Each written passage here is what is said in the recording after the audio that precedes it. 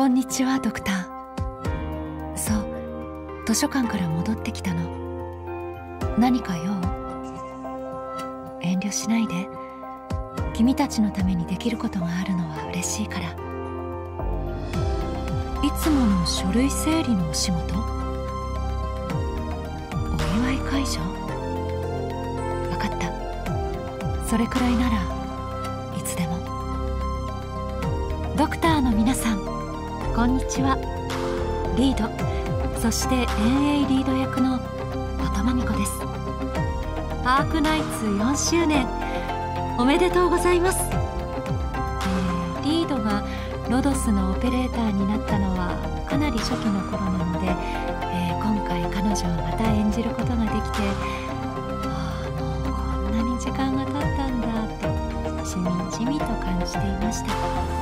まあもともとかなり生き方に迷っていた彼女ですが流されるままだった昔とは違って新しい環境で能動的に動くようになりしっかりと自分を見つめ直して人生の勝ち取りをするようになりました。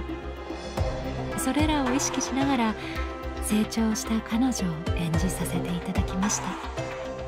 とは言ってもただ穏やかに暮らしたいという根本的なところはきっと変化していなくてドクターや仲間家族への思いは今も変わっていません。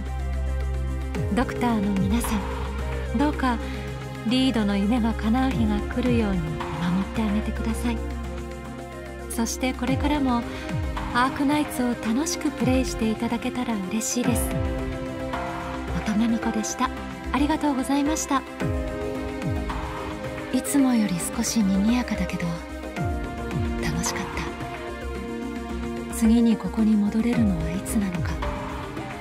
その前に私たちの夢にどこまで近づけられるのかわからないけど私の火は消えないよ。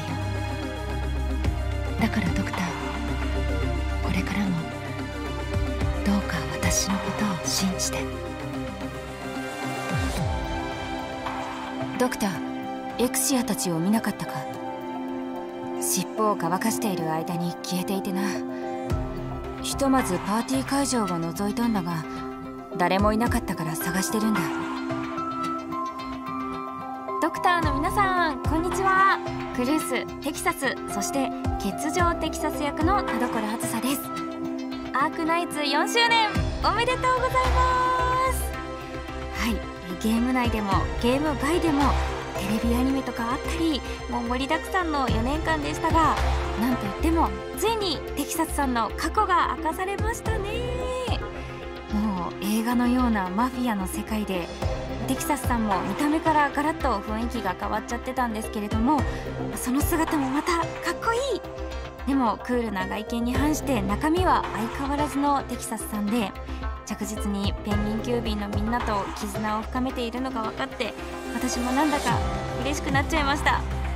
クルースちゃんが成長した時もめっちゃ驚いたんですけれどもこうしたオペレーターの変化が見られるのも長く続いているからこその魅力だと思いますのでぜひ今後とも末永くアークナイツを楽しんでいただければと思います。というわけで田所あずさでした。あっちに走っていった。ああなら空のところだな。いいステージにすると気合を入れていたからドクターも応援してやってくれ。これはドクター。貴公と宴の場で会うのは初めてだな。さあまずは一献。酒は将兵たちをねぎらうには欠かせぬからな。知らない貴公ではあるまい。えー、ドクターの皆さんこんにちは。チョンユエ役の関俊彦です。アークナイツは4周年を迎えたんですね。おめでとうございます。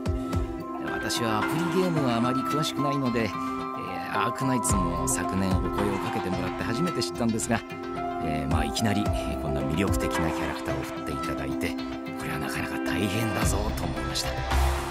最初にいただいた時の設定を見てみるとと神のような超自然的存在であった生き物が12のかけらに分かれた序列第1位の一番上のお兄さん。穏やかで落ち着きがあって頼りがいのあるさっぱりとしたキャラクター。